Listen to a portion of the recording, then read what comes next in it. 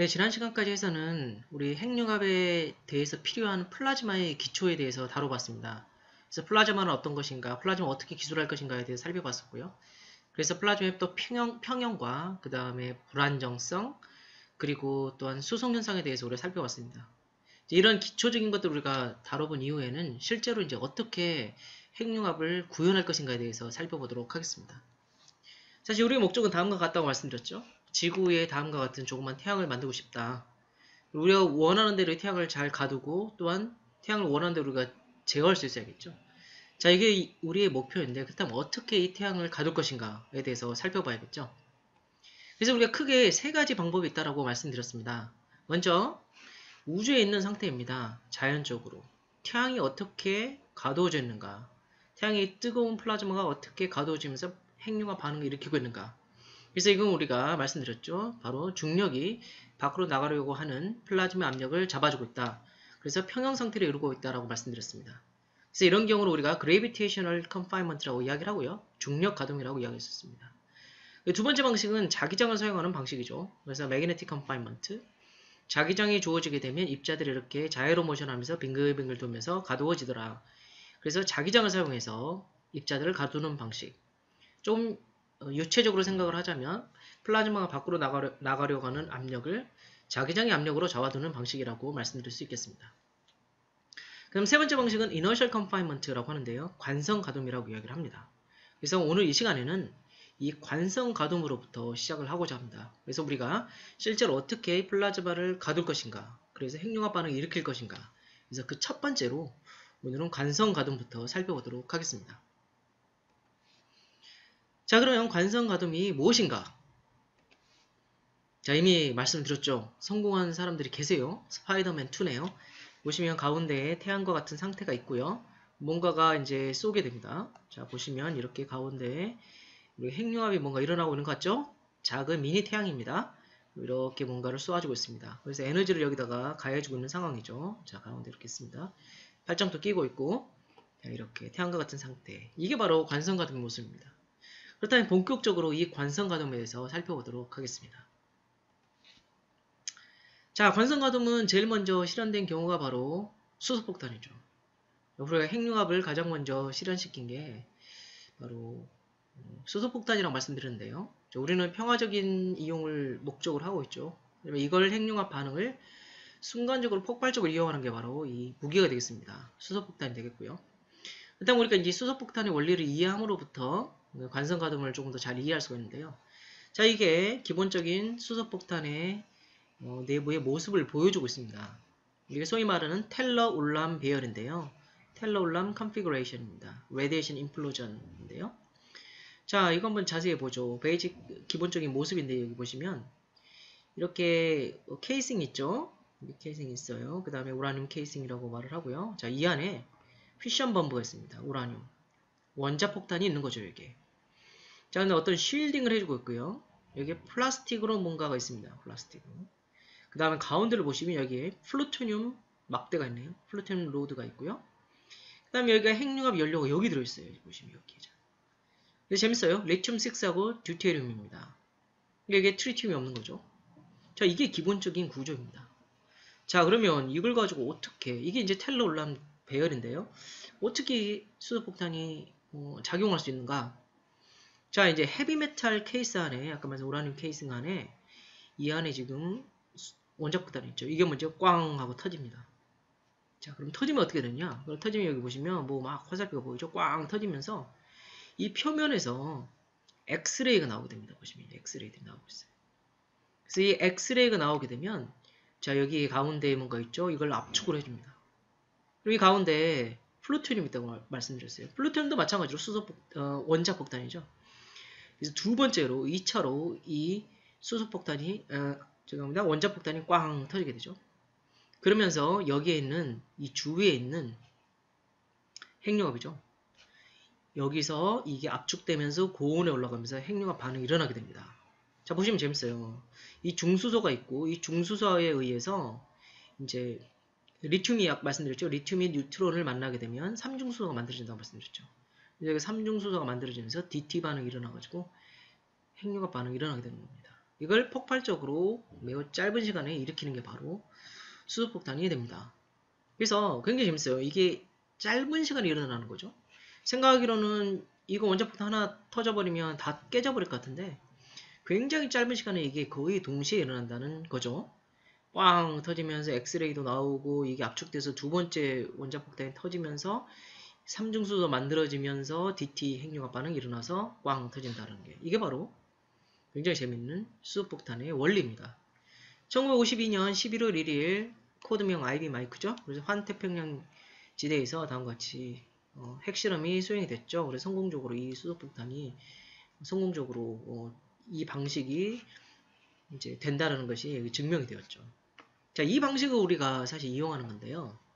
조금 더 자세히 살펴보겠습니다. 먼저 이 inertial fusion 에너지라고 우리가 이야기를 하는데 inertial fusion 에너지 이게 바로 방금 봤던 수소폭탄의 원리를 평화적으로 사용하는 게 바로 IFE가 됩니다. 그래서 1963년에 여기 계시는 니콜라이 바소프 그 다음에 알렉산드르 프로코로프 이 두 분이 두 분이 이제 제안을 하셨는데요. 모스크바에 있는 레베데프 연구소에 계셨습니다. 그래서 어떻게 하면 레이저를 사용해서 small 타, 자그만 타겟을 두고 여기에 이렇게 쏘아주는 거예요. 레이저를. 그래서 어떻게 하면 핵융합 반응을 일으킬 수 있을까를 사실 제안을 했습니다. 물론 그 전에도 1950년대 미국에서도 이제 다양한 활동들이 있긴 한데요. 이제 그 부분은 이야기 말씀드리지 않겠고 일단 이 러시아에서 대표적인 경우를 말씀드리겠습니다. 그래서 니콜라이 바소프랑 알렉산드르 프로크로프가 이제 제안을 했는데 이분들은 또 노벨 물리학상 수상자들이죠. 찰스 타운스와 함께 1964년에 노벨 물리학상을 수상을 했습니다. 그러니까 레이저의 발견에 이제 중요한 역할을 하셨죠.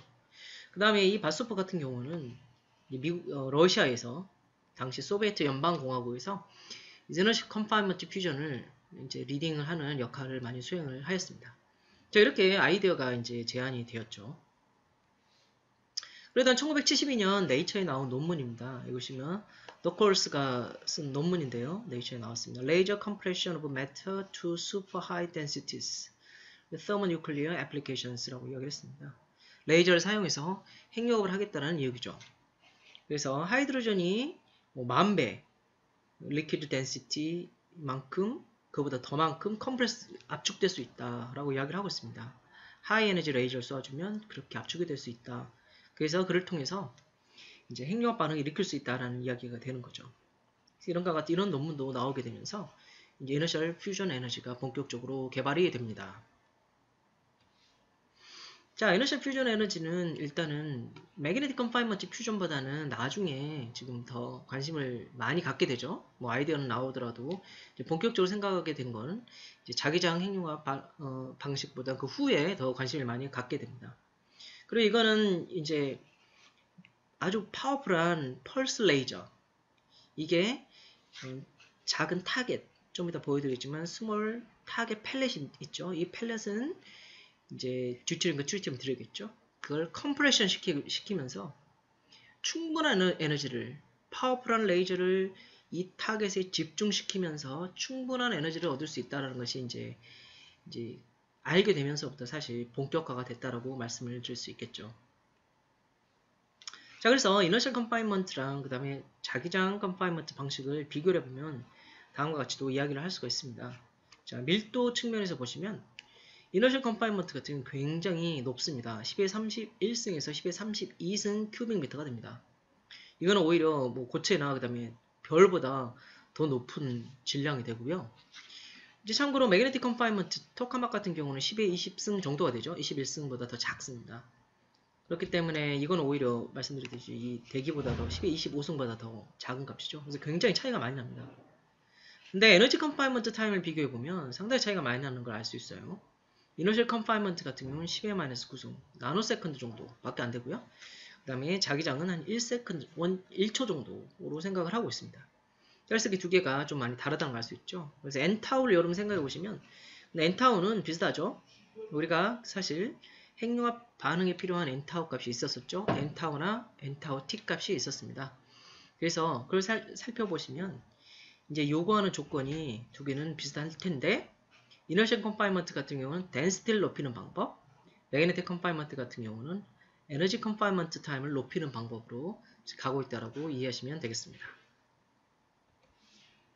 자 그러면 이너셜 퓨전 에너지에 대해서 좀 더 자세히 살펴보도록 하죠.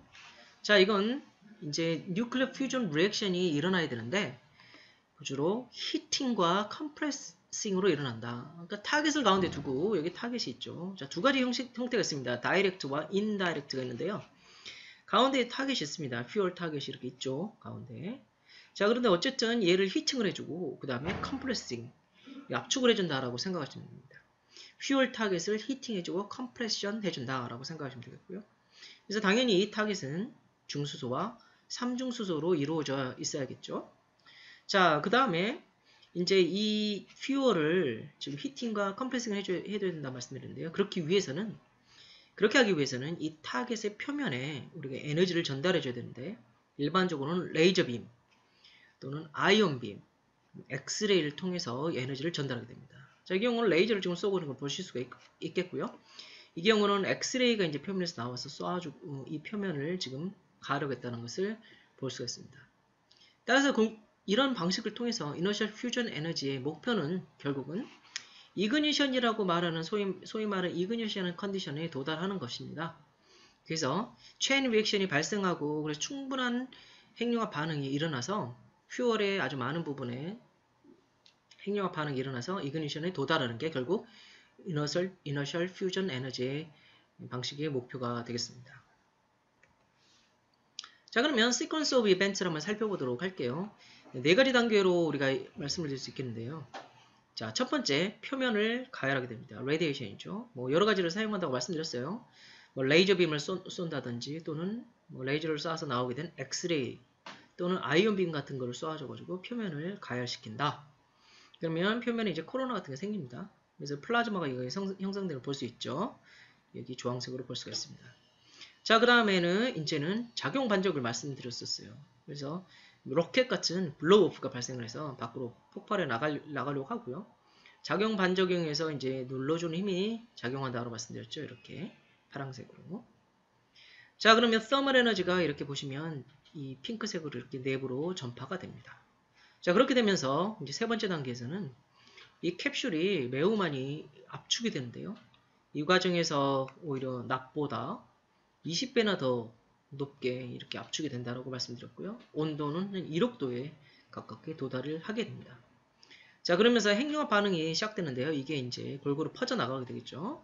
그래서 이제 충분한 양의 우리가 넣어준 것보다 충분히 많은 양의 에너지가 나오게 되면 결국 핵융합으로 사용할 수 있게 되겠죠.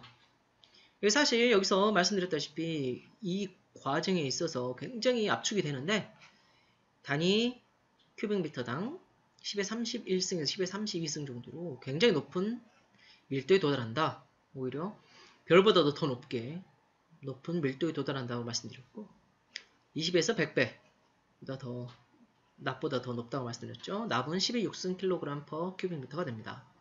온도는 1억 도니까 10 kilo electron volt 정도겠고요. 일어난 시간은 10의 마이너스 9승초. 굉장히 짧은 시간이죠. nanosecond에서 이 과정이 발생하게 됩니다. 자 이렇게 해서 우리가 어, inertial fusion energy에서 sequence of event를 살펴봤어요. 4단계에 따라서 이걸 조금 더 자세하게 살펴보도록 하겠습니다. 자 1번입니다. 첫 번째 단계죠. high density beam을 가지고 이 radiation을 해준다고 말씀드렸어요. small pellet이 있습니다. 그러면 이 pellet은 보통은 5mm보다 더 반경이 작은 이런 pellet이 존재 있고요. 여기에 deuterium과 tritium 들어있겠죠. 그래서 이제 radiation을 쏘아주는데 아주 골고루 symmetric하게 쏘아주는 게 굉장히 중요합니다. 그래서 굉장히 높은 electromagnetic radiation은 뭐 레이저나 또는 ion beam을 쏘아준다고 말씀드렸죠. ion beam 같은 경우는 이제 가속기를 사용해 가지고 아주 high energy ion beam을 뽑아내서 여기에 이제 이제 예, 가해주게 됩니다. 자, 두 번째 단계는 이 표면에 그렇게 되면 에너지가 주어질 경우에 코로나가 형성이 된다. 플라즈마가 형성된다고 말씀드렸죠. 자, 코로나가 형성이 되고요. 그러면 이 표면에서 이제 에너지를 얻음으로써 local하게 ioni, ionization이 생기고요. 플라즈마 코로나가 형성이 됩니다. 자, 그 다음에는 ablation과 compression인데요. 자, 이제는 이 표면이 ablation이 일어나게 됩니다. ablation이 일어나고 일어나서 밖으로는 이제 mass가 transfer 밖으로 이제 퍼져 나가려고 하고요. 내부로는 pressure shock wave가 생깁니다. pressure shock wave. Shock wave가 안으로 들어가게 되는 거죠. Shock wave가 생겨서 안으로 들어가게 되고 그 다음에 이제 그 다음에 계속 레이저를 이제 한 번 쏴주지 않고 이렇게 계속 여러 번 쏴주게 되겠죠. 레이저를 팍 쏴주게 되면 레이저를 쏴주게 되면 이제 들어오게 되잖아요. 에너지가 계속. 그러면 shock wave 다음에 계속 오는 이런 펄스나 레이저에 의해서 이, 이미 이 내부가 조금 압축이 되어 먼저 이제 압축이 되겠죠. 압축이 되고 있을 때 그 다음에서 또 쏴주는 레이저나 이 빔 펄스에 의해서 shock wave가 내부로 잘 들어갈 수 있겠죠. 이 compression 되고 있는 상태에 또 이렇게 shock wave가 들어갈 수 있게 되겠죠. 자, 이 과정이 바로 이제 compression에 해당되는 과정이 되겠습니다. 자, 그 다음에는 heating이 일어나고 fusion이 일어나고 disassembly가 발생을 하게 됩니다. 자, 내부로 이제 압축이 되면 충분한 온도 그리고 밀도가 도달하게 되면 핵융합 반응이 일어나게 되겠죠. 그러면서 근데 핵융합 반응은 이 pellet이 disassemble 그러니까 이제 파괴되기 전까지 분해되기 전까지 이제 일어나게 되겠죠. 한 아까 nanosecond 정도 된다고 했어요. 10 마이너스 9승이나 10 마이너스 8승 정도의 굉장히 짧은 시간 동안 이제 일어나게 되고 pellet이 이제 쪼개지게 되겠죠. 이 시간은 이제 쪼개지는 시간은 이제 보통 우리가 shock wave가 전달해서 들어가는 pressure wave가 이 pellet을 들어가는 시간인 시간으로 보통 생각을 하고요. 이게 이제 소리, sonic speed 정도입니다. 뭐 VS나 또는 CS라고 말하는데 그 시간이 바로 이 pellet이 쪼개지는 시간이라고 생각하시면 되겠습니다. 그렇게 해서 핵융합 반응이 일어나고 disassemble이 생겨서 이제 pellet이 이제 쪼개진다라고 생각하시면 되겠습니다.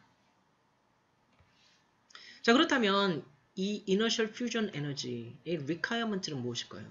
요구하는 조건이 있겠죠.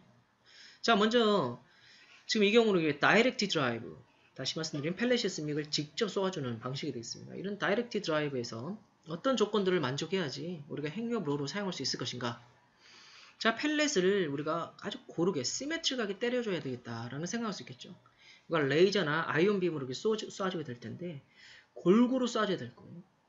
그렇지 않게 되면 국부적으로만 밀도가 올라가게 되고 pellet이 이제 불안정해지거나 뭐 이렇게 원하지 않은 방향대로 변형되거나 그렇게 될 수가 있겠죠. 따라서 그, 렇게 symmetric하게 때려줄 필요가 있다. 그 다음에 또한 빔과 타겟 우리가 이제 레이, 저나 또는 ion beam을 쏘아줄 텐데 이 빔과 타겟이 에너지 coupling이 아주 효율적으로 잘 되어야 되겠죠. 에너지 전달이 잘 되어야 될 겁니다. 그래서 이제 우리는 보통 high frequency laser beam을 사용하는데요. frequency를 높인 레이저 빔을 쏘아줘서 아주 깊숙이까지 들어가게 할 필요가 있습니다. 여기 대해서는 다시 또 말씀을 드릴 거예요. 자 그래서 symmetric하게 때려줘야 되고 에너지 coupling이 잘 되어야 된다. 이 조건을 만족해야 된다. 두 번째는 이제 이 전자 heating이라는 게 존재하는데요. 상황에 따라서 제가 또 말씀드릴 겁니다. 전자가 가열이 되는 경우가 있어요. 그러면 이 전자가 먼저 들어가 버리면 전자가 먼저 일렉트론이 히팅하게 되면 내부에서 펠렛의 내부에서 압력이 커지게 됩니다. 그렇기 때문에 우리가 압축을 시켜야 되는데 이게 안 되겠죠. 압축이 되려면 이게 잘 압축이 되어야 되는데 이 내부에서 먼저 팽창을 하게 되면 히팅해서 팽창하게 되면 압축이 효과적으로 잘 일어날 수가 없게 되겠죠. 그래서 어떻게 하면 가능한 이 내부 코어가 high density로 갈 수 있을 것인가. 그래서 electron heating에 의한 internal pressure build-up 전에 충분히 high density가 얻어져야겠다라는 걸 생각할 수 있습니다. 그래서 이를 얻기 위해서 타겟도 cold, 뭐 아주 차가운 뭐 ice 형태가 될 수도 있겠고요. 이런 cold target을 사용하고 이제 ion beam을 사용하기도 합니다. 그래서 electron heating을 막아줘야 되겠다라는 방식. electron heating을 막으면서 내부에 밀도를 높이는 게 두 번째 조건이 될 수 있겠고요.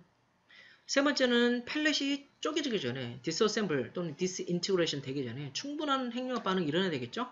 네, 그게 매우 필요하겠다는 것을 생각할 수가 있습니다. 자, 이 부분은 다시 제가 말씀드리겠고요.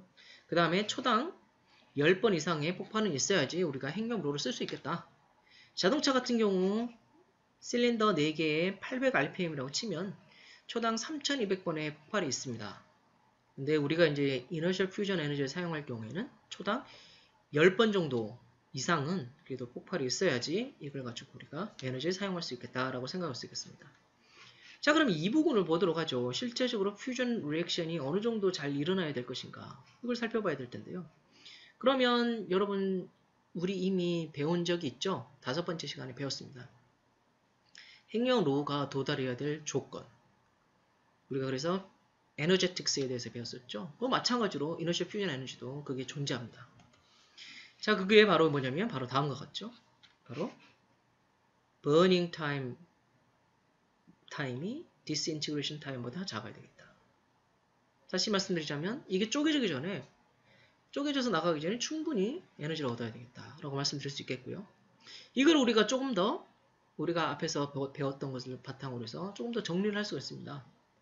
자, 다음과 같이 정리를 할 수가 있습니다. 자, 로선 크라이테리온을 만족해야 되겠다. 그죠? 로선 크라이테리온. 자, 로선 아저씨가 말씀을 했다라고 했어요. 자, 그걸 한번 따져보면 다음과 같이 쓸 수 있습니다. 정리를 하자면요. 뭐 n타우 기억나시죠? n타우 값이 얼마 이상이 되어야 되겠다. 또는 n타우 t라고 말씀드렸는데 density랑 에너지 confinement time이 어느 정도 이상이 되어야지 우리가 행렬로로 사용할 수 있다고 말씀을 드렸었어요. 자 그렇다면 이 inertial fusion 에너지에서는 이게 어떻게 표현되는가? 사실 n타우를 그대로 쓸 수 있겠는데 inertial fusion 에너지에서는 다른 표현을 씁니다. rho r을 쓰는데요. rho는 밀도로 생각하시면 되겠고 r은 final radius 타겟의 radius라고 생각하시면 됩니다. final radius 반경이요. 그래서 이걸 우리가 다른 말로 fuel areal density라고 이야기를 하는데요. 단위를 보시면 뭐 킬로그램 per 미터 제곱이 되겠죠. 즉 이게 30kg per 제곱미터 이상이면 된다라고 이야기를 합니다. 그럼 이게 어디서 나온 이야기일까? 어디서 나온 이야기일까? 한번 하나씩 따져보도록 하죠. 사실 이게 어디서 나왔냐면 여기서 나온 건데요. fusion burn fraction이 30% 이상이 되어야 된다. 라는 이야기입니다. 그러니까 한마디로 이 fuel이 있죠? 타겟이 있을 텐데 이게 30% 이상이 핵융합 반응을 일으켜야 된다는 이야기입니다. 그러길 그, 왜 30% 이상이냐? 그럴 경우에 에타 G가 10을 만족하는데요. 이 정도면 이제 reactor라고 이야기합니다. 그럼 에타 G는 뭡니까? 에타는 driver efficiency입니다. 레이저를 사용하면 레이저의 효율이 되겠죠. 그럼 G는 뭡니까? G는 fusion gain입니다. 서브nuclear fusion gain이 됩니다. 그래서 driver energy, 뭐 레이저 에너지라고 생각하시면 됐죠. driver energy인데 이게 무슨 에너지냐면 reaction chamber로 들어온 에너지입니다. 그러니까 챔버에 우리가 쏴줄 거 아니에요? 그때 들어와가지고 타겟에게 가게 될 그 에너지가 됩니다. 그거 분의 fusion capsule 하나 이 타겟 하나가 fuel target이겠죠? 이 캡슐 하나가 내는 핵융합 에너지가 됩니다. 그러니까 레이저의 에너지, 들어온 레이저 에너지 분의 핵융합 에너지 이게 gain인데요. 이거 곱하기 driver efficiency 곱한 게 에너지 그러니까 레이저의 레이저나 빔의 효율인데 이거 곱한 게 10 정도는 되어야지 핵력으로 쓸 수 있다라고 이야기를 합니다. 그걸 계산해 보면 한 30% 정도가 어떻게든 30% 정도가 번이 되면 된다. 그 조건을 만족하는 게 바로 이겁니다. 자, 이걸 조금 더 살펴보시면 다음 걸쓸수 있겠는데요. 자, 이건 바로 말씀드린 대로 이게 로아로 이렇게 표현되는데 이걸 엔타워로 표현하자면 우리가 잘 아시는 2 곱하기 10의 21승으로 표현이 될 수 있습니다. 이게 거의 동격입니다. 자, 이걸 유도하려면 다음과 같은 식을 따라갈 수 있겠는데요. 간단하게만 말씀을 드리겠습니다. 자, 이게 범 프랙션 아까 말씀드렸으니까 이게 시간에 대한 듀체륨의 밀도는 어떻게 되냐면 다음과 같이 표현할 수 있겠죠. 핵력 반응 에 의해서 줄어들게 되겠죠. 마이너스 줄어들게 되겠구나. ND, NT. 시그마 V는 다 알고 계시죠. 자, 이거를 우리가 시간 0초부터 해서 번타임까지 한번 적분을 해보시면 0부터 타우 burn time이 됩니다. 또는 integration disintegration time이 될 수도 있겠고요. 이걸 또는 energy confinement time이라고도 어, 이야기를 합니다. 자, 그래서 burn time을 계산해 보면 이렇게 쓸 수 있어요. 1-nd분의 nd인데 시간이 0초일 때, 그 다음 마지막 시간이 끝났을 때까지 이렇게 쓸 수가 있겠고요. 이거 듀테륨이나 트리튬이나 마찬가지겠죠. 뭐 같다고 생각하면요. 이렇게 쓸 수가 있을 겁니다. 자, 이걸 다음과 같이 쓸 수 있습니다. 1 플러스 타우 r분의 타우, 타우 r분의 타우를 쓸 수 있겠는데요. 이 타우 r은 바로 다음과 같이 쓸 수가 있습니다. 우리가 아까 적분했다고 말씀드렸죠. 시간에 대해서 적분하는데 0부터 시작을 해서 t는 0부터 시작해서 타우까지. 이 타우는 말씀드린 대로 disassembly time 또는 confinement time이라고 이야기를 합니다. 그래서 0부터 타우까지 적분하게 되면 다음과 같은 식을 얻을 수가 있겠고요. 그래서 타우 r은 sigma v dt nd t는 0으로 표현이 됩니다. 그 다음 타우는요. 이게 자세하게 하진 않겠는데요. 다음과 같이 얻을 수가 있는데 4분의 1의 CS분의 R로 표현합니다. 자, CS는 아까 sound speed라고 말씀드렸죠. sound speed로 이게 전파해 나가면서 disassembly 된다라고 말씀드렸죠. 그러니까 sound speed가 나올 것이고 여기가 pellet 또는 캡슐의 반경으로 표현될 수 있겠다는 걸 우리가 예측할 수 있겠죠. 근데 4분의 1 정도 값이 들어가게 됩니다. 자 이렇게 해서 burn fraction을 구할 수가 있어요. 그리고 이 burn fraction을 다시 한번 정리를 해보면 이걸 다시, 다시 정리해보면 rho R 플러스 베타 분의 rho R이 되는데요. 자, 이 베타는 우리가 지난 시간에 배웠던 평형에서 나오는 베타. 다시 말씀드리면 magnetic pressure분의 kinetic pressure, plasma pressure가 아니라 여기서는 다르게 정의를 합니다. 베타는 다음과 같이 정의가 되어 있고요. 온도의 함수, 입니다 그래서 뭐 ion의 에, 질량이 되겠고 이거는 sound speed가 되겠고요. 시그마 V가 들어가게 됩니다. 자, 그래서 burn fraction을 rho R로 표현할 수 있겠고 아까 말씀드렸다시피 이 burn fraction이 30% 이상이 되어야 되겠구나 라는 조건을 만족하자면 rho R로 표현할 수 있겠죠.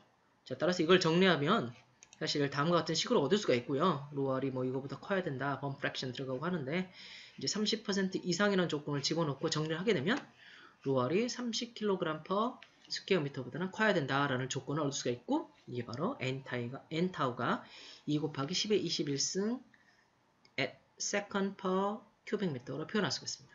자 이런 조건을 만족해야지 이너셜 퓨전 에너지가 핵융합으로 사용할 수 있겠구나라는 것을 우리가 이제 어, 얻을 수가 있게 됩니다.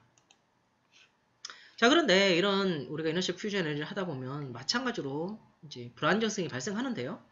자, 지난 시간에도 배웠었죠. 플라즈마에는 불안정성이 존재한다. 우리가 어떤 perturbation 줬을 때 force balance가 이루어진 평형 상태의 퍼터베이션을 줬을 때 이 perturbation이 growing하는지 또는 이 퍼터베이션이 줄어드는지 살펴봐야 된다고 말씀드렸죠. 자 그런데 이제 growing하는 경우 우리가 instability라고 말씀드렸고 뭐 대표적인 예로 뭐 지난 시간 interchange 뭐 이런 것들을 말씀드렸습니다. Rayleigh-Taylor instability 말씀드렸고요. 마찬가지로 우리 inertial fusion energy에도 동일하게 이 Rayleigh-Taylor instability가 발생합니다. 뭐 시뮬레이션을 통해서도 여기 보시면 뭔가 이렇게 발생을 볼 수가 있죠. 이런 불안정성들. 그리고 여기서 시뮬레이션 통해서도 볼 수가 있습니다. 이렇게 hot spot 빨간색으로 따라가고 있는데요. 이런 식으로 불안정성이 생기는 걸 알 수가 있겠고요. 실제적으로도 시간에 따라서 이게 바뀌어가는 것을 여러분이 보실 수가 있습니다. 이렇게요. 자, 이런 불안정성들, perturbation이 growing하는 이런 Rayleigh-Taylor instability가 동일하게 이너셜 퓨전 에너지의 타겟, 이 캡슐에서도 발생을 합니다. 그뿐만이 아니라 여러 가지 불안정성이 또 존재하는데요. 대표적인 예 중에 하나가 parametric instability입니다. 이건 이제 plasma wave에 따라서 발생하는 건데요. 자, 뭐 마찬가지겠죠. wave가 발생했을 때 이게 growing하는 경우가 되겠는데요. 자, 이 경우는 이제 플라즈마에 wave가 발생을 해서 얘가 이제 우리 계속 레이저나 빔이 쏘아주게 되겠죠. 근데 이렇게 쏘아준 거를 이렇게 반사돼 버리게 만드는 레이저를 예를 들면 쏘아주면 레이저가 다시 반사돼서 나가버리게 만들어요. 플라즈마 내부에서 wave가 만들어지면서 그래서 더 이상 에너지가 전달이 안 되겠죠. 이런 경우를 우리가 parametric instability라고 이야기하는데 크게 두 가지 종류가 있습니다. SBS와 SRS. SBS는 Stimulated Brillouin Scattering이라고 말하고요. 이 경우는 ion acoustic wave가 발생하고요. SRS는 Stimulated Raman Scattering입니다. 이 경우는 electron plasma wave가 발생합니다. 따라서 이 경우들은 이제 특히 문제가 이제 말씀드렸죠. electron이 가속이 된다. electron이 에너지를 얻게 돼요. 그래서 이거 preheating이라고 그러죠. 그래서 얘네가 에너, electron이 먼저 가열이 돼가지고 안으로 들어가게 되면 또 얘가 내부의 압력을 높여줘 버린다고 그랬죠. 그래서 compression 잘안 될 수가 있다. 그래서 이 경우는 또한 이제 electron이 이제 가, 가열이 되면서 얘네가 electron beam이 되면서 이게 자기장을 만들기도 해요. 그럼 J cross B 전, 전자에 의한 current가 있는데 거기에서 자기장이 생겨서 J cross B에서 눌러준 효과 핀치 효과입니다. 우리가 다음 시간에 또 배우게 될 텐데 이런 핀치 효과도 발생을 하게 됩니다. 그래서 이제 이걸 어떻게든 우리가 막아야 되겠는데 그렇게 하기 위해서는 이제 레이저의 빔의 frequency를 높여주게 됩니다. 그러면 이제 이 frequency를 높여주게 되면 SBS나 SRS가 발생하게 되는 density, plasma density, density level이 올라가게 됩니다. 따라서 쉽게 발생하지 않게 되겠죠. 그래서 우리가 가능한 레이저의 frequency를 높여주는 방식으로 가게 됩니다. 이런 불안정성을 막기 위해서요. 그래서 레이저의 frequency를 높여주게 되면 더 깊숙이 플라즈마의 에너지가 전달될 수 있고 이런 불안정성을 어, 낮춰줄 수 있다. 그래서 그런 식으로 지금 어, inertial fusion energy는 어, 개발이 되고 있습니다. 자 그럼 레이저 현황은 어떻게 되냐면 살펴보겠습니다. 자, 레이저의 목적은 간단하겠죠. pellet을 compression을 잘 해줘야 되겠고 coupling을 잘 해줘야 되겠구나 라는 것을 알 수가 있습니다. 그래서 여기에 대한 아주 엄격한 조건들이 존재하는데요. 한번 보시면 이게 현재 현황입니다. 그리고 여기 조건이고요. 뭐 뒤에도 자세하게 제가 또 말씀드리겠지만 간단하게 말씀드리자면 wavelength와 pulse rate, beam energy, peak power 같은 것을 중심으로 해서 한번 비교를 해보겠습니다. neodymium 레이저고요. 이거는 krypton fluoride 레이저입니다. 보시면 wavelength는 0.3 정도로 요구를 하고 있는데 네오디뮴 같은 경우 1.06. 그 다음에 krypton fluoride는 0.25로 비슷하죠. 그래서 어느 정도 도달이 되고요. pulse rate 같은 경우는 한 5Hz 정도인데 네오디뮴 같은 경우 0.001Hz. 그 다음 krypton fluoride는 5Hz 정도가 얻어집니다. 글라스가 없을 경우에. beam energy 같은 경우는 0.03메가줄에 해당되고요. 여기는 0.1메가줄. 그런데 1메가줄 정도가 사실 빔이 필요합니다. 아까 같은 조건을 도달하기 위해서는요. Lawson criterion. peak power는 30테라와트인데요. 요구하는 것은 1000테라와트입니다.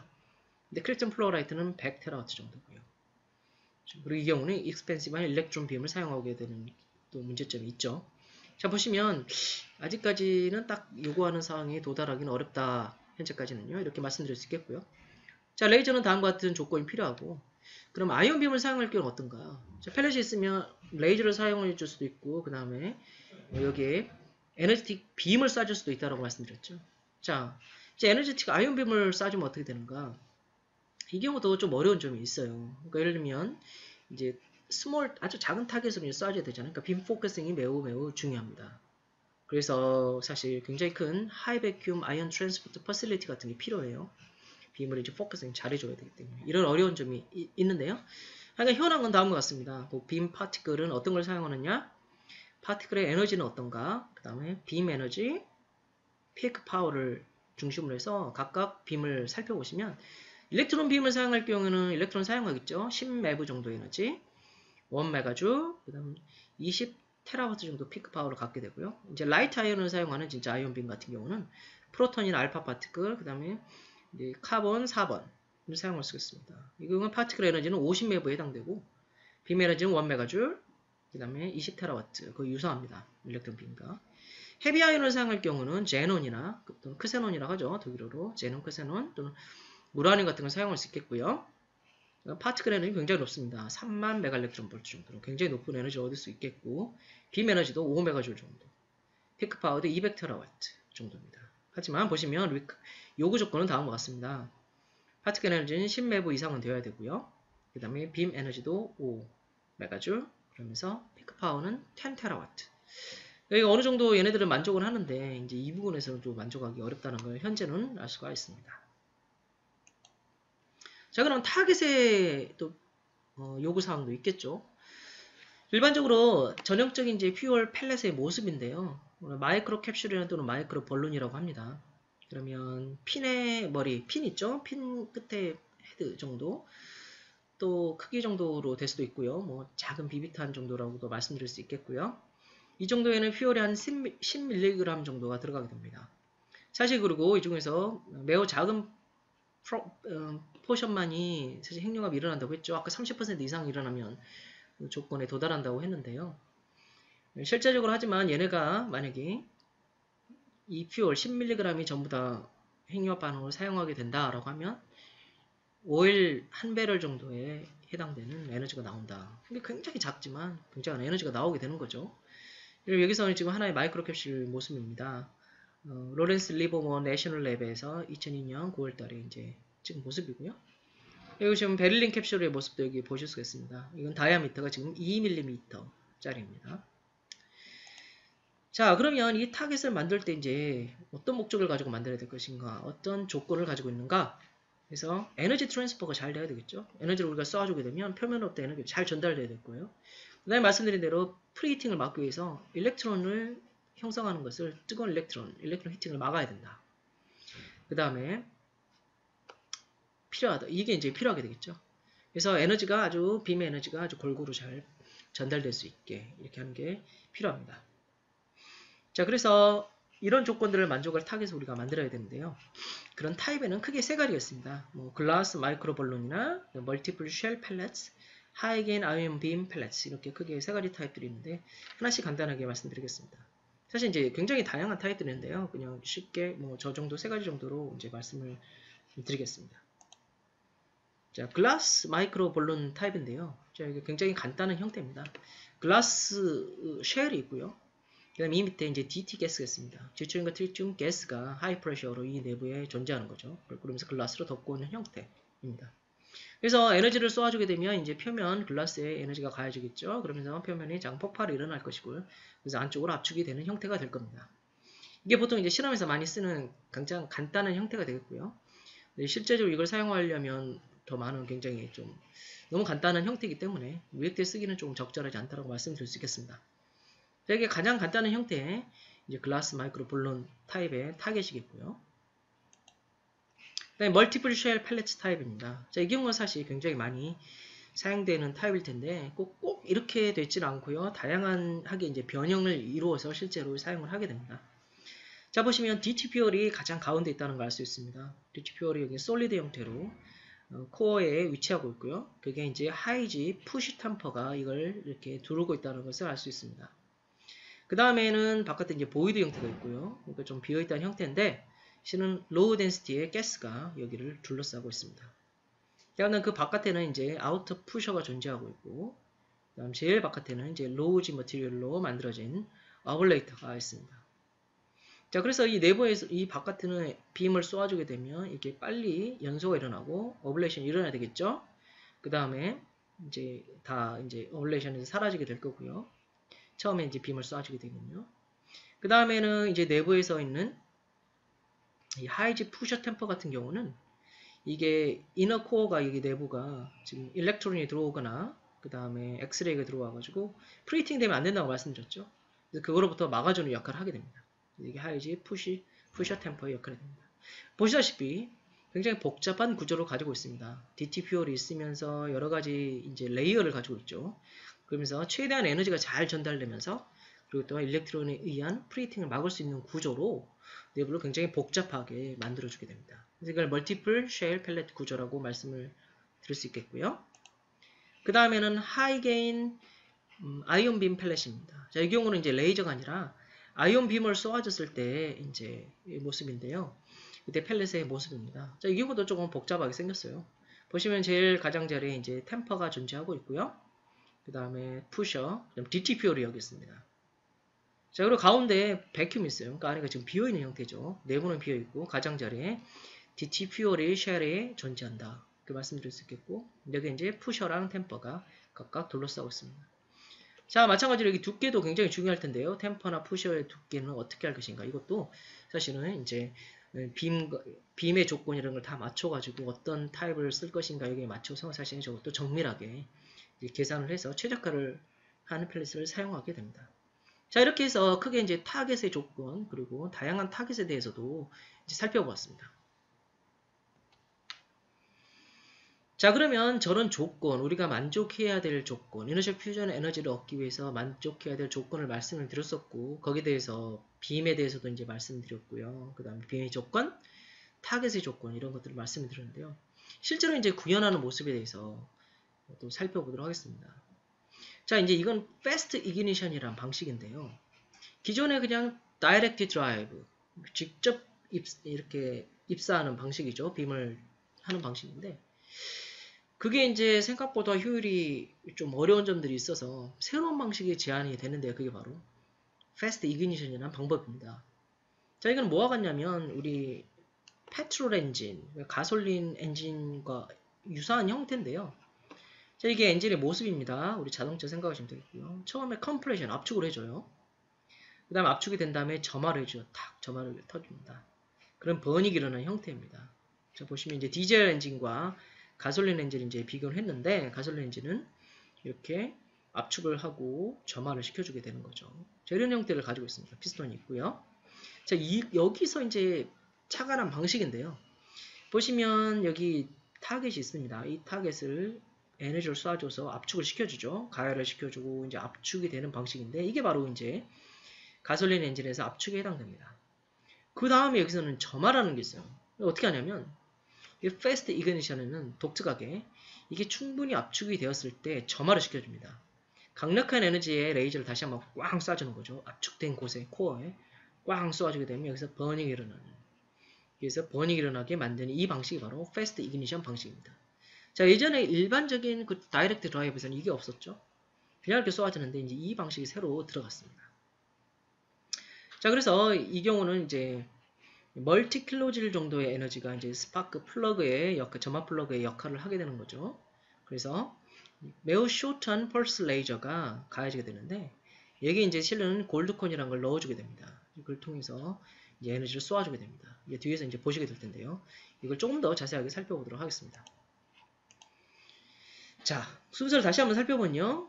처음에 이제 powerful한 레이저를 쏴주죠. 골고루 이렇게 쏴줍니다. 그래서 DT 캡슐, 여기 캡슐이 있겠고요. 그러면 아주 골고루 쏴주게 되면 표면에 이제 코로나 플라즈마가 형성된다고 말씀드렸죠. 그러면서 내부가 이제 압축이 되겠죠. 자, 그 다음 어떻게 되는가? 여기 아까 골드 코인, 금으로 만들어진 콘이 있어요. 이렇게. 근데 보시면 깔때기 같죠? 이게 이제 압축이 됐어요. 연료가 이렇게 다음과 같이 압축이 됐어요. 꼭 여기 골드콘을 꽂아주는데 이 골드콘이 원래 이렇게 컸는데 이렇게 압축이 된 거죠. 이 팁에 딱 만날 정도로. 그럼 여기서 굉장히 높은 지금 어, 밀도가 돼 있다는 거, 밀도에 도달했다는 걸 알 수가 있죠. 자, 여기 어떻게 하느냐? 죄송합니다. 여기에 이제 레이저 빔을 쏴주게 되는 거죠. 바로 이게 점화에 해당됩니다. 자, 이렇게 압축된 타겟에 이렇게 아주 intense한 ultra intense 레이저를 쏴주게 되면 이 gold cone 랩을 통해서 그러면 이 레이저가 여기 있는 굉장히 높은 밀도의 음, 이 타겟과 반응을 하게 되죠. 그러면서 굉장히 높은, 굉장히 많은 energetic electron이 형성이 됩니다. 그러면서 이제 이 굉장히 높은 energetic한 electron들이 이 fuel 랩으로 들어가기 위해서 에너지를 전달하게 되죠. 그러면서 온도가 1억도에 도달하게 되면서 핵융합 반응이 일어나게 하는 방식. 이게 바로 fast ignition 방식입니다. 그래서 이제 골드콘을 사용해 가지고 점화를 해준다는 게 기본 기존 방식과 다르게 되겠죠. 실제로 예를 보도록 하겠습니다. 이제 모습, 모습인데요. 보시면 이게 골드콘이 여기 실제로 여기 있네요. 골드콘이 이렇게 있고요. 그래서 이 경우는 한 60도 정도가 됩니다. 뭐 30도에서 60도 정도 되는데 그림에서 60도 되고요. 골드콘 탑에 한 두께는 한 5 마이크로미터 정도고요. 전체는 한 50 마이크로미터 정도가 됩니다. 그 다음에 이제 여기서 히팅을 쏴준다고 했죠. 말씀드렸죠. 여기 골드콘을 통해서 빔 하나를 쏴주는데 한 300줄. 1.054 마이크로미터고요. 0.5 피코세컨드에 쏴주게 됩니다. 자, 여기 이제 펠렛이 있네요. 이제 펠렛이 여기 있고요. 펠렛 조건은 다음과 같이 지금 표시가 되어 있고요. GX2에서 이제 에너지가 9개 빔을 가지고 처음에 이제 여기를 표면을 이제 가열해준다 말씀드렸죠. 그러면 빔 9개, 2.5kJ, 0.53 마이크로미터고요. 쏴주게 된 다음에 마지막에 이제 점화를 위해서 다음과 같은 300줄짜리 레이저를 쏴준다라고 말씀을 드렸습니다. 자 여기 한번 fusion gain과 레이저 에너지를 한번 여기서 보시면 이게 일반적으로 하는 방식이에요. 보시면 자, 일반적인 방식이 이렇게 되어 있는데 이게 fast ignition 방식입니다. 여기서 보시면 fast ignition을 사용하게 되면 실제로 우리 사용하고는 일반적인 방식보다 훨씬 더 높은 fusion gain을 같은 레이저 에너지로 얻을 수 있다는 걸 알 수가 있어요. 굉장히 효율적이라는 이야기죠. 그래서 압축될 때까지 나와서 거기서 꽝 쏴주게 되면 훨씬 더 효율적으로 핵융합 반응을 일으킬 수 있다는 것입니다. 그래서 이 fast ignition 방식은 굉장히 효과적이라고 말씀을 드릴 수 있겠죠. 자 여기서 이제 새로운 아이디어가 나는데 이 아이디어에서 착안해서 꼭 굳이 이 gold cone을 달지 않고도 할 수 있는 방법들을 또한 고안해냈습니다. 그게 바로 shock ignition이라는 방식인데요. 보시면 이게 레이저 파워고 시간입니다. 뭐 별도로 뭐 골드콘을 꽂아가지고 레이저를 쏴주는 것보다는 한번 비슷하지만 우리가 기존에 가지고 있는 시스템을 조금 더 바꿔서 해보자. 자 그러면 파란색이 일반적인 방식입니다. 시간에 따라서 이렇게 펄스를 주게 되는데요. 빨간색이 이제 샥 이기니션인데요. 보시면 처음에 비슷하죠? 그러다가 이제 에너지를 쏴주는데 레이저를 쏴주는데 기존 파란색보다 더 작습니다. 보시면 메인에서 beam이 훨씬 에너지가 더 작아요. 파워가 더 작아요. 그러다가 기다렸다가 이, 이 pellet이 compression이 되었을 때 한꺼번에 팍 하고 shock를 주는 것. shock pulse를 이렇게 주게 되는 거죠. 그러면서 파워도 더 높게 줄 수가 있겠고요. 꽝 주게 되는 방법이 바로 shock ignition 방식이 되겠습니다. 자, 실제 모습입니다. 레이저 pulse terawatt로 되어 있고요. 보시면 시간이고 이런 식으로 주, 주다가 여기서 마지막에 shock를 한번 굉장히 짧은 시간 동안 주고 있는 걸 볼 수 있죠. shock heat pulse 이렇게 주게 됩니다. 이 동안은 compression이 일어나고 마지막에 샤크 점화를 시키는 게 되겠죠. 여기서는 2 곱하기 10의 16승 와트 per 제곱센티미터로 굉장히 높은 파워가 들어가게 됩니다. 이때 사용하는 target인데요. 굉장히 복잡하죠. multiple shell이라는 걸 알 수가 있죠. 그래서 뭐 carbon hydride 형태죠. carbon이나 hydrogen 들어있는 형태 DT도 들어있고요. 그 다음에 여기는 DT ice가 여기 들어있습니다. 그 다음에 DT vapor가 들어있고요. 보시면 여기 여기 두께도 이렇게 나와 있습니다. 보시면 굉장히 세밀하게 굉장히 정교하게 어, 설계가 되어 있다는 것을 보실 수가 있습니다. 자 이렇게 shock ignition이라는 방법이 또한 고안이 돼가지고 굉장히 효과적으로 기존의 direct drive 방식을 이제 더 개선을 할 수 있는 할 수 있게 되었습니다. 실제로 한번 성능을 비교해 보면 target gain이고요. 레이저 에너지입니다. 자 보시면 이게 conventional direct drive입니다. 이 정도 자, 초당 300km 정도 implosion이라 생각하시고요. 자 여기 있고요. 그다음 fast ignition이었죠.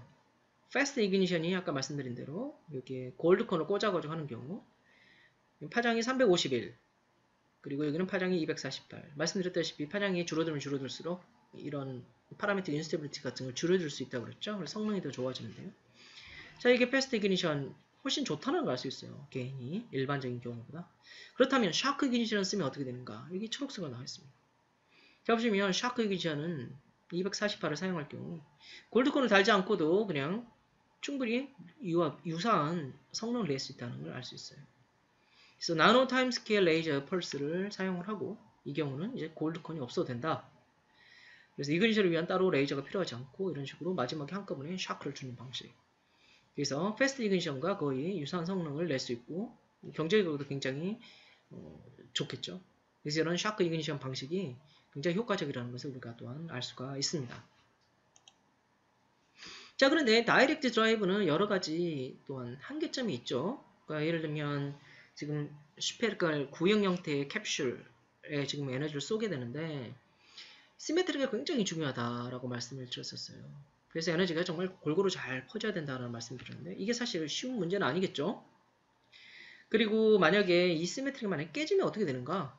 그렇다면 캡슐에서 이 density가 서로 다를 수가 있을 거예요. 시간마다 다르게 될 수도 있겠고요. 그래서 핵융합 반응이 충분히 일어나기 전에 이제 캡슐이 깨져버릴 수가 있겠다. 그렇게 symmetry 문제가 굉장히 중요했다는 것을 우리가 알 수가 있습니다.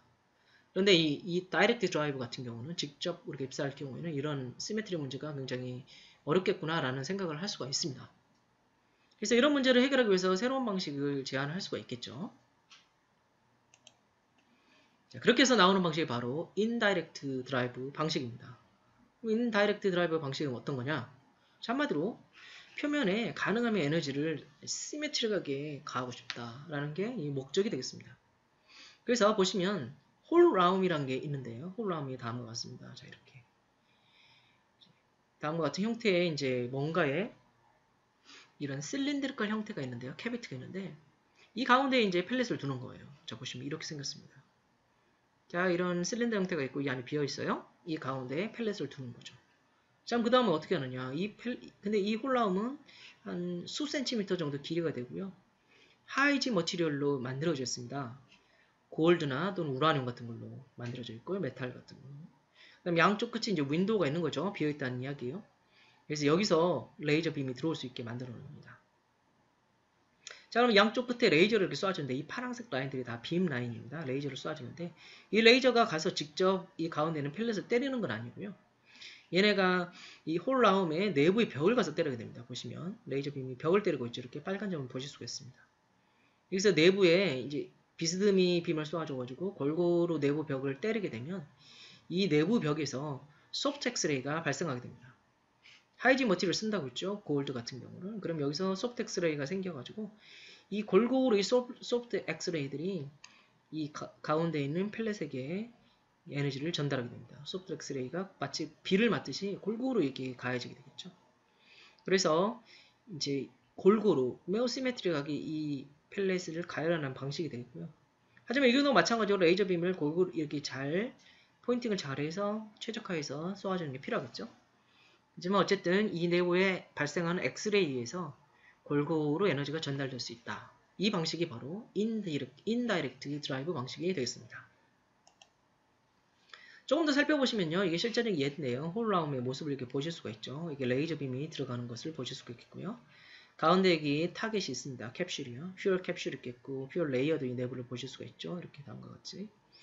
잡고 있는 모습입니다. 이렇게 포지션으로 잡고 있는 모습. 이 gold, gold로 만들어진 hohlraum 모습입니다. 자, beam line이 이렇게 들어가네요. 각, 이 각도도 굉장히 중요하겠죠. 잘 각도를 해서 optimize를 시켜야 되겠고요. 링으로 잡고 있고요. cryo cooling 그러니까 냉각을 해야 되겠죠. 레이저 빔들 이렇게 들어갔다고 말씀드렸고요. 그 다음에 여기 지금 pellet이 가운데 있습니다. 타겟이 보시면 가장자리 솔리드 DT 퓨어 레이어를 보실 수가 있겠고 그 다음에 CH 그 다음에 다이아몬드 같은 걸 사용할 수도 있고요. 이제 베릴륨 캡슐이 여기 들어가 있습니다. 그 다음에 이제 보시면 hohlraum 벽이고요. 우라늄이나 또는 gold를 섞어서 쓰는 형태로 되어 있습니다. 길이는 10.8mm 정도가 되겠죠. 자, 이 내부에도 이제 뭔가를 채워놨는데 hohlraum 내부에도 헬륨과 hydrogen 을 여기다 지금 채워놓은 상황, 상황입니다. 그리고 레이저가 laser entrance hole이 되겠죠. 이쪽으로 들어가게 되겠죠.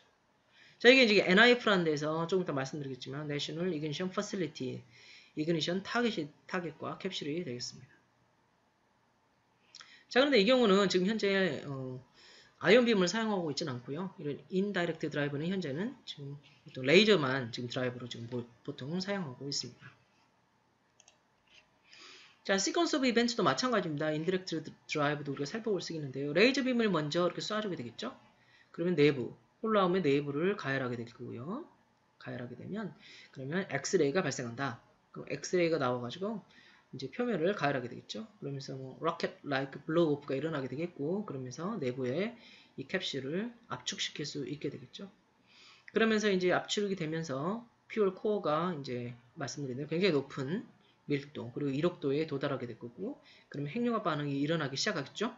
그럼 핵융합 반응이 고르게 이제 pellet에 이제 전달돼서 일어나게 되면 이제 우리가 이 에너지를 사용할 수 있게 됩니다. 자 이게 indirect 방식을 사용한 어, inertial fusion energy의 sequence of event가 되겠습니다. 자 그런데 장점과 단점이 있습니다. 음, 예를 들면 이제 매우 direct drive에 비해서 음, 에너지가 골고루 전, 전달될 수 있다. pellet 표면에 이런 큰 장점이 있죠. 그래서 꼭 굳이 뭐 물론 이제 이 빔을 골고 optimal하게 잘 hohlraum에 넣어줘야 되긴 하겠지만 direct drive에 비해서 훨씬 더, 더 편해졌고요. 그 다음에 그 엑스레이가 나와서 샤워를 해주기 때문에 symmetric하게 표면이 가열될 수 있다는 큰 장점이 있습니다. 그래서 ablation도 좋고요. 그 다음 compression도 더 효과적이다고 말씀을 드릴 수가 있겠습니다. 그리고 또한 여기 엑스레이를 쏘아주게 되니까요. 이제 레이저 빔이 아니죠. 레이저 빔을 쏴주면서 표면에서 나는 엑스레이를 쏘아주게 되니까 엑스레이는 frequency가 굉장히, 굉장히 높, 습니다 그렇기 때문에 아까 말씀드렸죠. 드렸죠. parametric instability가 발생을 해서 레이저 빔이 이제 추가로 들어오는 걸 이제 막을 수가 있다고 말씀드렸는데 이 엑스레이가 들어가는 high frequency이기 때문에 이제 parametric instability가 굉장히 좋아집니다. 상황이. 그래서 훨씬 더 효과적으로 compression이 일어날 수 있다. 이런 장점이 있습니다. 그런데 단점도 있습니다. 예를 들면 빔을 직접 입사하는 게 아니라 빔이 표면을 때려가지고 거기서 또 에너지가 나오는 거기 때문에 효율이 굉장히 낮겠죠. coupling이 좋지 않습니다. 그래서 빔으로부터 나오는 에너지가 전부가 이렇게 흡수가 될 수는 없겠죠. 자, 이런 문제점이 있겠고요. 그 다음에 hohlraum을 또 만들어야 돼요. 추가로. 굉장히 복잡하죠. 그래서 일단 또 뭔가를 또 추가로 만들어야 된다는 점. 그리고 이거를 chamber 가운데 레이저로 되는 이 chamber 가운데 잘 놔둬야 되겠죠. 이걸 어떻게 잘 놔둘 것인가 하는 이런 문제점이 있습니다. 그래서 indirect drive도 굉장히 좋은 방식이긴 하지만 또 이런 단점도 있다는 것도 우리가 또 기억할 필요가 있습니다. 자, 지금까지 direct drive, indirect drive에 대해서 말씀을 드렸고요. 그 다음 이제 실제적으로 이런 이너시 퓨전 에너지를 사용하고 있는 경우에 대해서 말씀드리겠습니다. 미국의 로렌스 리버모어에서 많이 진행이 되고 있죠. 자, 사실 direct drive 같은 경우는 전 세계적으로 사실 특별한 규제 없이 진행이 되고 있는데 indirect drive 같은 경우는 자, 아까 여러분 잘 기억해 보시면 수소폭탄의 원리와 굉장히 비슷하다는 걸 알 수가 있어요. 수소폭탄 같은 경우 먼저 원자폭탄이 꽝 터지면서 엑스레이가 나오게 된다고 말씀드렸죠. 표면에서. 그러면서 내부를 압축시켜서 2차 플루토늄에 의한 원자폭탄이 터지고 거기를 통해서 핵융합 반응이 일어난다고 말씀드렸었는데 엑스레이가 쏟아지는 거죠. 이 원자폭탄과 같은 상태로 만들어주는 게 바로 이 hohlraum이 됩니다. 그래서 엑스레이가 나왔잖아요. 그래서 indirect drive 같은 경우는 사실 수소폭탄의 시뮬레이터로 사용이 됩니다. 그렇기 때문에 사실 좀 규제가 있고요. 그래서 주로 indirect drive는 미국을 중심으로 많이 이루어지고 있습니다. 하지만 direct drive 같은 경우는 이제 사실 전 세계적으로 이루어질 수 있는 상황이고요. 대표적으로 이제 미국 로렌스 리버모어를 보실 수 있는데 이제 레이저가 시바와 노바가 있습니다. 지금 이 여러분 이 사진을 보시는 것은 노바의 모습이고요. reaction chamber를 보실 수가 있죠. 빔이 이렇게 들어가게 되겠죠. 이렇게 이 가운데 동그란 데 가운데 이제 pellet이 위치하게 될 겁니다. 자, 이렇게 가운데 이제 pellet이 있겠고요. 그 다음에 이제 레이저의 설비를 보실 수가 있습니다. 굉장히 큰 설비라는 걸 아실 수가 있겠고요. 이 경우는 neodymium YAG 레이저를 사용을 했고요. 그 다음에 1065 나노미터짜리를 사용해서 continuous power로 킬로와트 이상의 에너지를 파워를 얻을 수가 있었습니다. 그 다음에 매우 높은 파워를 펄스 모드로도 사용할 수 있고요. 그래서 10의 8승 메가와트까지 펄스로 굉장히 높은 파워를 얻을 수가 있겠고 continuous하게도 이제 킬로와트 이상을 얻을 수가 있었습니다. 그래서 굉장히 큰 이제 성과를 얻었고요. 그 이후로 이제 굉장히 큰 설비를 만들었죠. 그게 바로 이제 National Ignition Facility입니다. NIF. 자, 이게 이제 내부의 모습이고요. 보시면 레이저의 설비인데 굉장히 큽니다. 아까에 비해서 훨씬 큰 설비가 되겠고요. 이거 굉장한 장치입니다. 사실. 매우 큰 설비다. 그래서 스포츠 스타디움 정도 사이즈고요. 굉장히 큽니다. 그럼에 불구하고 타겟은 굉장히 작죠. 비비탄 총알 정도 굉장히 작은 타겟을 사용한다라고 말씀을 드렸습니다. 매우 powerful한 레이저 시스템을 가지고 있는데요. NIF 같은 경우는 192개의 레이저 빔을 사용하고 있고요. 에너지 1.8메가줄입니다.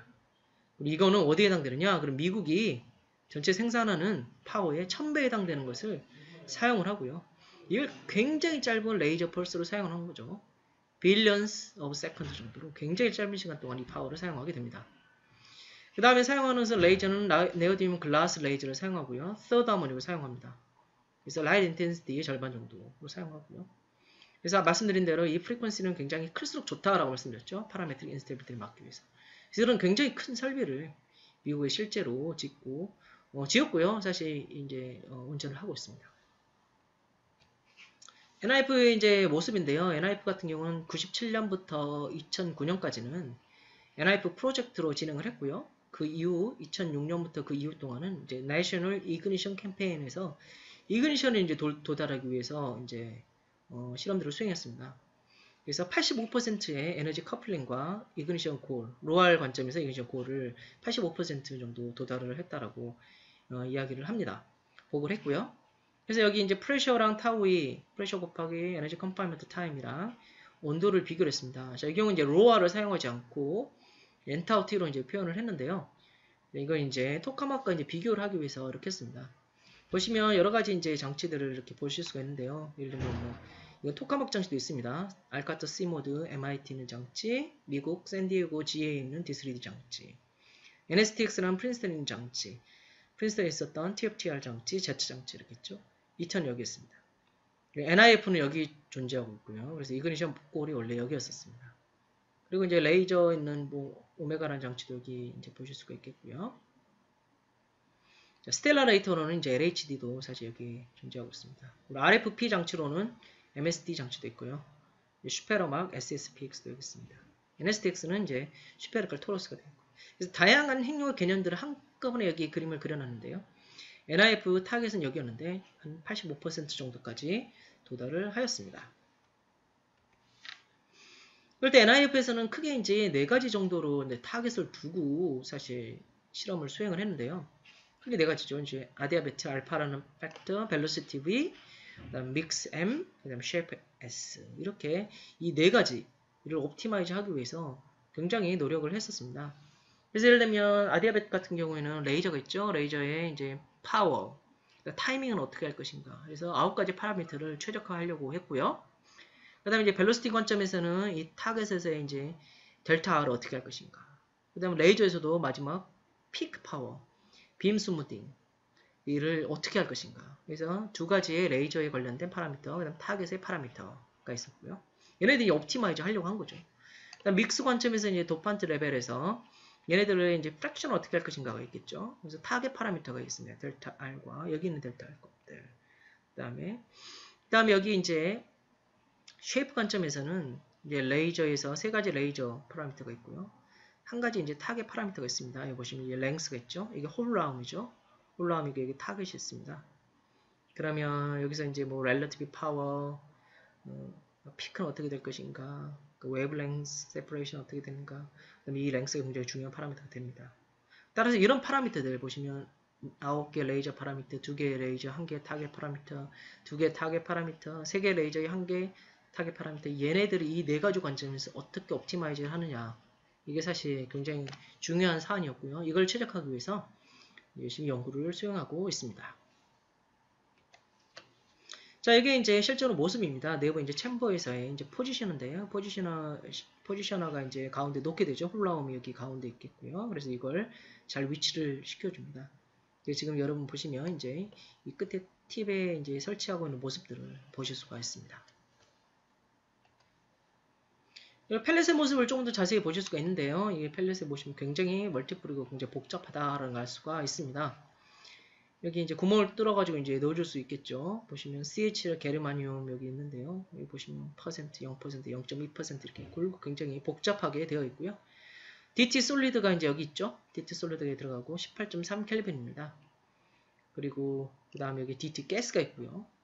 가스 이제 fraction을 이렇게 있죠. hydrogen, deuterium, tritium, 헬륨3까지 fraction들이 골고루 들어가 있고요. 그 다음에 이제 CH composition도 굉장히 복잡합니다. 그래서 뭐 C H, O의 이제 fraction들을 이렇게 들어있는 걸 알 수가 있죠. 그래서 이것도 굉장히 뭐 draft들을 놓고 final 디자인 이제 되어 있고요. 굉장히 이제 시뮬레이션을 다 수행을 해봅니다. 그래서 최적화를 수행을 하고요. 그래서 보시면 이제 뭐 시뮬레이션 수행한 것도 볼 수가 있습니다. 이게 오늘 Kelvin Helmholtz vortices vortices를 보, 본 건데요. 이런 불안정성 같은 것도 살펴보면서 어떻게 이제 최적화를 할 것인가. 그래서 다양한 시뮬레이션을 수행을 해서 이제 최적화를 하게 됩니다. 자, 미국에는 이제 NIF가 있고요. 그 다음에 이제 프랑스에서도 마찬가지로 어, 굉장히 이제 열심히 연구를 수행하고 있는데요. 프랑스에서는 이제 핵융합 원자력을 C, 세아에서 많이 수행을 하고 있죠. 여기서는 이제 레이저 메가줄이라는 장치를 만들어가지고 연구를 수행 중에 있습니다. 여러분 이제 와인으로 많이 유명한 보르도 지방 근처에서 이 장치를 지었고요. 그 다음에 2014년 10월에 이제 운전이 시작이 되었습니다. 그래서 이 경우는 1.8메가줄의 레이저 에너지를 사용을 하고요. 176개의 레이저 beamline을 사용합니다. 아까 NIF보다는 살짝 작긴 하지만 그래서 굉장한 설비가 되겠습니다. 그래서 이 경우도 어, NIF랑 비슷하게 이제 indirect drive에 이제 집중을 해서 연구를 수행하고 있습니다. 다르게 말씀드리면 이제 수소폭탄 시뮬레이터를 할 수 있는 경우가 되겠죠. 그래서 이제 프랑스에서도 이런 대형 설비가 만들어져서 이제 관성 가둠 핵융합 연구가 이루어진다라고 말씀드릴 수 있겠습니다. 자 그러면 inertial fusion 에너지를 사용한 power plant는 어떤 식으로 갈 것이냐에 대해서 말씀드리겠습니다. 자 타겟 factory가 먼저 있어야 되겠죠. 타겟을 만들어야죠. 가능한 싸게 만들수록 좋겠죠. 그래서 싸게 많이 만드는 게 중요하겠죠. 자 여기서 이제 타겟을 만들어서 떨어뜨리게 되면 드라이버가 있습니다. 그래서 가열을 하고 compress를 시켜야 되죠. 이 타겟을. 그래서 충분히 핵융합 반응이 일어날 수 있게끔 해야 되겠죠. 그래서 beam line이 여러 개가 들어가게 될 거고 이제 focusing을 해서 여기로 들어가게 되겠죠. 이런 설비가 필요하게 됩니다. 그 다음 fusion chamber 이게 chamber가 있겠죠. 이제 핵융합이 실제로 에너지를 얻어낼 chamber입니다. 여기서 핵융합 반응이 일어나게 되면 이제 중성자가 나오게 되겠죠. 이 중성자의 에너지를 여기서 흡수를 해서 에너지를 얻어내야 됩니다. power conversion 해야 될 것이며 또한 삼중수소도 여기서 만들어야 되겠죠. 그래서 퓨전 에너지를 recover 할 부분이 바로 이 fusion chamber가 되겠고요. 그 다음에 coolant를 여기로 흘러보내게 되면 이 coolant에서 나오는 에너지를 이제 스팀이나 헬륨 driven 터빈 generator 로 fusion heat를 이제 전기로 바꿔주는 변환 장치가 이제 여기 power conversion 시스템이 여기 이제 존재하게 됩니다. 그래서 사실 굉장히 간단한 형태가 됩니다. 토카막에 비해서 이제 훨씬 간단하죠. 이런 간단한 시스템이 바로 이제 power plant가 될 텐데요. 이걸 조금 더 살펴보도록 하겠습니다. 자, 그럼 동영상으로 보시겠는데요. inertial fusion을 사용한 타겟 factory입니다. 그 다음에 reaction chamber가 가운데 있죠. 드라이버 시스템, 이제 레이저가 되겠습니다. 자, 드라이버에서 빔을 쏴주고 있죠. 자, 타겟 하나 떨어뜨리면 빔을 쫙 쏴줘서 집중을 시켜서 핵융합 에너지가 나오면 그걸로 전기를 생산한다라는 방식이 되겠습니다. 자, 저렇게 하나씩 뚝뚝 떨어지면서 이게 보시면 다다다닥 떨어지고 있네요. 네, 계속해서 떨어져야 돼요. 정확하게 떨어지며 레이저를 정확히 쏴줘서 에너지를 얻게 되죠. 전기는 계속 나오게 되고요. 자, 이게 기본적으로 이너셜 퓨전 에너지의 파워플랜트 시스템이 되겠습니다. 자, 실제로 이제 어, power plant 개념들이 나와 있는데요. 이건 LIFE의 모습입니다. 이 외부에서 본 설비의 모습이고요. 이 내부의 모습 볼 수 있죠. 가운데 이제 타겟이 있겠고 레이저들이 이제 이렇게 쏘아지는 것을 알 수가 있어요. 자, 가운데 chamber, reaction chamber가 있겠고 beam line들이 이렇게 들어가는 걸 알 수가 있죠. 이렇게 symmetry하게 들어가고 있죠. 자, 여기 1.5 기가와트 electricity를 내는 것으로 설, 설계가 되어 있고요. 레이저 같은 경우 2메가줄 그러면서 351 나노미터입니다. 이건 ultraviolet이고요. 레이저를 사용하고 빔은 384개의 라인을 사용합니다. 굉장히 많은 beam line을 사용하죠. 대형 설비가 되겠습니다. 이제는 LIFE라는 개념이 있겠고요. 조금 더 자세히 살펴보시면 내부는 다음과 같습니다. 자, 가운데 이제 이 타겟이 존재하고 있습니다. 그래서 퓨전 타겟, DT가 여기 들어있겠죠.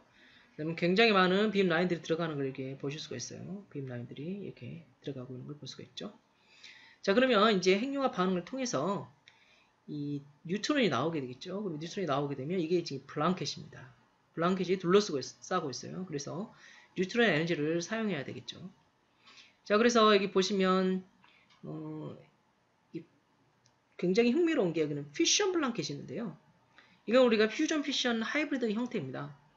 사실 여기에 fission을 집어넣어요. 그래서 핵 분열이 일어나게 만들죠. 그래서 핵 분열과 핵융합이 같이 나는 건데 이 핵융합에서 나오는 중성자가 14.1 MeV 굉장히 높은 에너지이기 때문에 이걸 가지고 핵 분열을 일으킬 수도 있어요. 핵 분열까지 일으켜서 이제 핵융합 에너지를 극대화시키는 방식인데요.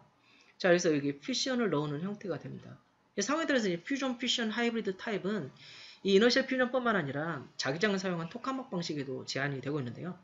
순수 핵융합으로 가기 전에 capital Q 값, 그래서 fusion multiplication factor를 낮은 값에서도 충분히 많은 파워를 얻기 위해서 fusion fission hybrid 타입들이 제안이 되고 있습니다. 순수 fusion으로 가기 전에 그 전 단계로 충분한 핵융합 반응이 일어나지 않더라도 fission의 도움으로 많은 에너지를 얻을 수 있게끔 중간 다리 역할로 fusion fission hybrid들이 많이 제안이 되고 있는데요. 그런 개념 중에 하나라고 생각하시면 되겠습니다. 자 여기 보시면 lithium lead 형태가 coolant가 들어가는 걸 볼 수가 있죠. 그래서 first wall을 냉각해 주는데 lithium lead 타입이니까 3중수소를 만들어 줄 수도 있겠죠. 그 다음에 여기는 FLiBe의 형태가 또 들어가기도 합니다. 여기는 냉각제를 두 가지를 좀 사용하고 있는 형태가 되겠습니다. 그 다음 제일 앞에는 이제 beryllium neutron multiplier를 넣어놔서 이제 neutron이 나오게 되면 multiply를 통해서 몇 개로 이제 두 개, 두 배가 될 수가 있겠죠. 이런 형태를 지금 볼 수 있겠고, 바깥에서 본 모습은 다음과 같습니다. 자, 그럼 이 페이지에서는 지금 power plant로 가기 위해서 어떤 발전이 있었는가를 이제 레이저 관점에서 보여드리고 있는데요. 보시면 이제 해마다 레이저 에너지, 그리고 레이저 파워를 중심으로 다양한 장치들을 그려놨습니다. 자, 이쪽에는 1970년대에 이제 high power laser를 개발하기 위한 장치들이 많이 이렇게 개발이 되었고요. 그래서 이 경우는 우리가 inertial confinement fusion research라고 말하고요. inertial fusion energy development라고 이야기를 합니다. 이제 본격적으로 핵융합. 수소 폭탄 이런 것보다는 이제 본격적으로 이제 핵융합 에너지를 얻기 위한 것으로 이렇게 이렇게 발전해 나가고 있는데요. 처음에는 이제 이 가운데가 이제 보시면 이제 ignition을 목표로 하고 있는 장치들입니다. 아까 보셨던 레이저 메가줄, 프랑스의 또는 미국의 NIF 장치 같은 걸 보실 수가 있겠고요. 자, 이런 장치들도 이미 이제 만들어졌던 장치입니다. 자, 그리고 이제 처음에 70년대에 이제 high power laser부터 이제 이쪽으로 가시게 되면 이제 결과, 결과적으로 이제 reactor에 해당되는 건데요. 여기는 이제 어, 파워보다는 보시면 이제 repetition rate를 높이는 방식으로 high repetition rate를 높이는 방식으로 지금 개발이 되어 가고 있다고 보시면 되겠고요. 바로 이쪽이 바로 reactor에 해당되는 어, 영역이라고 보시면 되겠습니다. 현재는 다음과 같은 장치들이 사실 개발이 되었고요. 지금 후에는 이제 이런 장치들이 개발이 돼서 이 reactor 쪽으로 어, 가기를 이제 어, 기대를 하고 있습니다. 자, 에너셜 퓨전 에너지의 장점을 한번 정리를 해보면요. 이제 물리학과 첨단 기술에 2009년에 나왔던 이야기입니다. 첫 번째는 입력 레이저 에너지를 높이면 점화 온도가 비례해서 올라간다. 그러니까 레이저 에너지만 높여주면 쉽게 우리가 예측할 수 있다는 거죠. 아주 간단하다. 그 다음에 핵융합 발전기 규모에 대한 scaling up down이 가능하다. 그러니까 충분히 이제 scaling up down이 굉장히 쉽게 할 수 있겠죠. 그 다음에 두 번째는, 세 번째로는 반응로와 레이저가 구분되어 있기 때문에 maintenance도 용이하다. 뭐 레이저 쪽에 혹시 문제가 생긴다면 레이저만 바꿔주면 되겠죠. 반응로 쪽이랑 이렇게 서로 구분되어 있어가지고 사실 maintenance도 용이하게 할 수 있다는 장점이 있고요. 그그 다음에 DT 연료의 핵융합 점화 효율이 매우 높다. 99% 이상 반응할 수 있다는 또한 장점도 있습니다. 그 다음에 반응로가 고 진공도를 필요로 하지 않는다. 토카막 같은 장치 같은 경우는 이제 진공이 굉장히 중요하죠. 그런데 이 경우는 반응로는 고진공도가 별로 필요 없다라는 이런 장점이 있습니다. 그래서 큰 장점을 가지고 있는데요. 역으로 아직도 많은 이슈들이 남아 있습니다. 자, 첫 번째로 예를 들면 이제 리액션 챔버인데요. 챔버의 모습을 볼 수 있는데 이런 스트레스를 볼 수가 있습니다. 보시면 리액션 챔버에 다양한 mechanical, 기계적인 뭐 스트레스나 radiation이 가해지겠죠. 그래서 엑스레이가 나오기도 하겠고요. 그 다음에 pellet이 가운데에서 여기서 pellet이 쪼개질 거 아니에요, 결국은. 여기 쪼개진 이제 파편들이 가서 이제 때리게 되겠죠, 이렇게. 그래서 이런 것들에 대한 pellet의 이제 이런 파편에 대한 어, 때문에 생기는 이런 문제점들도 있겠고요. 그 다음에 보시면 여기서 DT 반응이 일어나면 알파 파티클이 생기겠죠. 자기장을 이용한 방식 같은 경우는 자기장을 통해서 알파 파티클을 가둬줄 텐데 이 경우는 그렇지를 못하죠. 자기장이 없기 때문에 이제 알파 파티클이 어디론가 날아가게 될 거예요. 높은 에너지가 가는데. 그래서 걔네들이 이제 벽으로 가서 이제 어떤 문제들을 일으킬 텐데 헬륨 버블 같은 게 생겨서 또한 박리가 생기거나 그런 현상이 생기기도 합니다. 그래서 이제 이 표면을 어떻게 그럼 잘 할 것인가 해서 다양한 방식들이 예, 제안이 되고 있는데요. 예를 들면 liquid metal을 떨어뜨린다든지 liquid metal jet을 사용한다든지 droplet 뭐 spray 사용한다든지 이런 다양한 liquid metal을 사용해서 표면을 보호하는 방식도 생각을 하고 있습니다. 그 다음에 또 생각이 될게 이게 순간 이게 파편이 깨지잖아요. 이렇게 팍 깨지니까 굉장히 짧은 시간 동안에 100ms이라는 타임 시간에 chamber를 깨끗하게 해야 될 거예요. 그래야지 그 다음에 예를 들면 pellet을 떨어뜨리더라도 얘가 어떤 파편이 부딪히거나 여기서 경로가 변경되거나 그런 일이 없겠죠. 그래서 이런 것도 이제 필요한 기술입니다. pellet을 또한 manufacture하는 기술도 굉장히 중요하겠죠. 이제 spherical coating technology 같은 경우 이런 것도 굉장히 중요하겠고요. pellet을 handling하고 positioning 하는 것도 굉장히 중요합니다. 자, 이걸 어떻게 하면 정확하게 잘 위치하게 할 것인가. 그래서 뭐 새로 어, 개발된 기술 중에는 이제 trace를 해서 추적을 잘해가지고 빔을 쏘는 이런 기술들도 개발되었다고 합니다. 어쨌든 positioning 같은 것도 굉장히 중요한 기술이 되겠고요. 그 다음에 이제 빔들이 들어가게 될 텐데 이 mirror나 focusing magnet 같은 경우 이제 ion beam이 들어올 경우에는 이걸 focusing을 해야 되겠죠. 그래서 빔이 이제 들어오는 빔을 transport하는 이런 부분들 그러면서 mirror를 protection하는 이런 것들이 굉장히 중요한 이슈가 될 수 있겠습니다.